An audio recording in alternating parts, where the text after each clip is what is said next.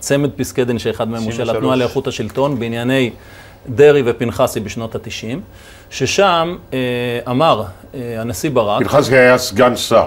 היה סגן שר, כן, ודרעי היה, ודרעי היה שר הפנים. מטעם ש"ס, כן. וראש הממשלה יצחק רבין, והוגשו כתבי אישום כנגדם, ולפי חוק, השלב שבו שר אמור לאבד את משרתו, זה מבחינה משפטית, זה השלב שבו הוא מורשע בעבירה שיש עימה קלון. זה חוק יסוד הממשלה.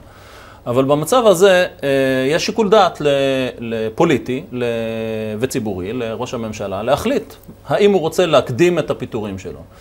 כאן בא בית המשפט ובעצם אה, קבע שני דברים. קבע נושא אחד שמתחבר לנושא שלנו, שזה שבית המשפט עצמו יכול להתערב בשיקול הדעת של אה, אה, ראש ממשלה משיקולים של סבירות. לא כן. רק מתי שיש עילה פורמלית, אלא גם חוסר סבירות אה, יכול להיות עילה להתערבותו. אבל הנקודה השנייה... חוסר סבירות קיצוני. חוסר סבירות קיצונית, קיצוני, כן. זאת האמירה. כן. בפועל אנחנו יכולים לראות שכיום המילה קיצונית הזאת... אה, היא מופיעה בטופס, אבל אה, כן. לא באמת מקבלת משמעות. ה micro-management שאנחנו יכולים אה, לפגוש אותו ב... אתה, אתה לא היית רוצה שהמילה הזאת, המונח הזה יופיע אני חושב שהסבירות, הסבירות זה דיון ארוך, אבל הסבירות, הסבירות שצריכה אה, להיות עילה במדינת ישראל צריכה להיות סבירות דומה לסבירות האנגלית, סבירות במקומות אחרים, שמדברים על סיטואציה של שרירותיות מוחלטת, כן. של אנה הוא מלך סיאם, המלך אחשורוש. נגיד כן. ששר פנים מורשע בעבירות אה, חוזר לתפקיד שר פנים. עכשיו, אה, בשביל זה יש ציבור, הציבור יחליט את מי הוא רוצה ואת מי לא, בשביל זה יש חוק יסוד, שחוק היסוד יקבע אבל זה מקרה קיצוני מאוד. אבל, אבל אתה רוצה שניכנס לסבירות, אין בעיה. האם זה מצדיק שיהיה טענה כלפי היועצים המשפטיים בכל משרדי הממשלה באשר לא, הם? זהו. האם הם באמת כובלים את ידי השרים לא, מלפעול, אני... או שומרים עליהם כדי שהדברים לא יגיעו לבג"ץ, בסופו של בג"ץ, בסופו של דבר בג"ץ ימנע מהם לפעול כפי שהם רצו לפעול. אז אני אסביר למה אני אבל במילים ספורות כדי ש... מה שאמר, מה שאמר אז אה, בפסק הדין ברק, זה אה, שחוות הדעת של היועץ המשפטי לממשלה מחייבת את הממשלה. האמירה הזו שהיועץ כבר איננו מייעץ, אלא הופך להיות סוג של שופט, היא האמירה שמנחה היום את מערכת היחסים בין היועצים לבין, אה, לבין הממשלה, וכך יוצא שלא רק שיש בית משפט, שמצוין שיש בית משפט שסמכותו לשים כן. גבולות, אלא שיש לי כאן שחקן שהוא שחקן וטו לממשלה, פרה-רולינג, לפני שהממשלה עוד מקבלת את החלטותיה, ובמובן הזה בעצם אה, שיקול הדעת של הממשלה מוגבל מאוד, הרבה פעמים הוא מוחלף, זאת פגיעה כן, בדמוקרטיה, וזאת כן. פגיעה במשילות, וזאת פגיעה ב accountability.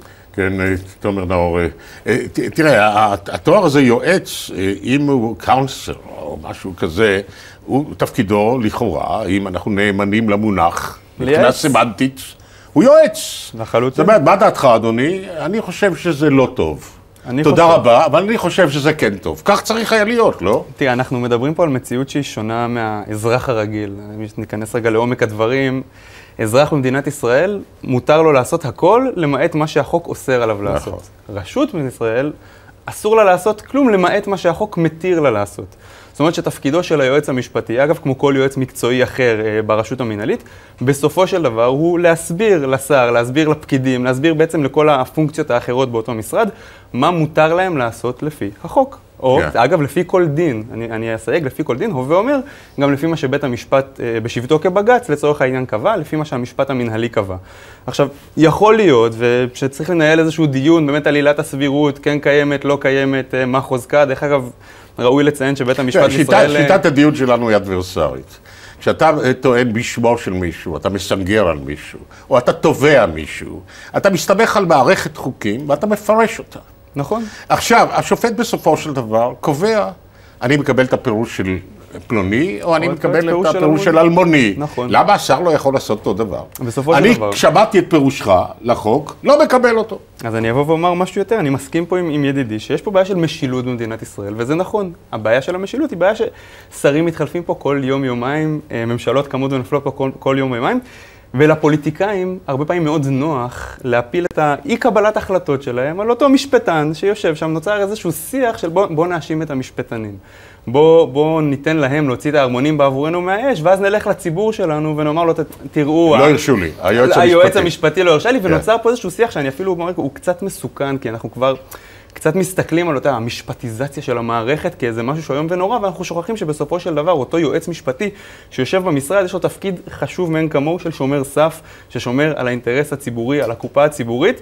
וכולנו יודעים מה קורה כשאתה יודע, לא מזמן חשפו את אותה שחיתות במע"צ, כשמחלישים את היועץ המשפטי או כשמוציאים אותו החוצה מהתמונה, תמיד במקומות האלה אנחנו מוצאים את מקרי השחיתות הכי גדולים. אני חושב שהיועץ המשפטתי הוא חשוב וראוי, ובסופו של דבר הוא פועל לפי מה שבג"ץ.